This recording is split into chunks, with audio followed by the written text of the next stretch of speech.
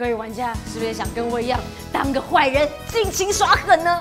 而这一款游戏《掠夺之日》就是要让你尽情的发飙，让你在游戏里面抢银行，当个亡命之徒啦！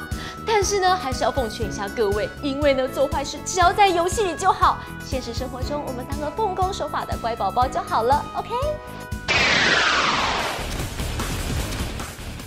Sony Online Entertainment 于日前公布，他们即将在 PS3 与 PC 平台上推出一款游戏《掠夺之日》。本作是由最近所成立的瑞典工作室 Overkill 所制作开发，以警匪对峙为主题。玩家们可从不同的职业中选择自己的角色定位，与同伴一起拟好各种应变策略，并灵机应变来采取各种对应手段。而本作也将借由动态的环境设定。以及人性化的 AI 系统来调整，让玩家每次挑战的时候都会有不同的感受，体验化身为罪犯作恶的另类游戏乐趣。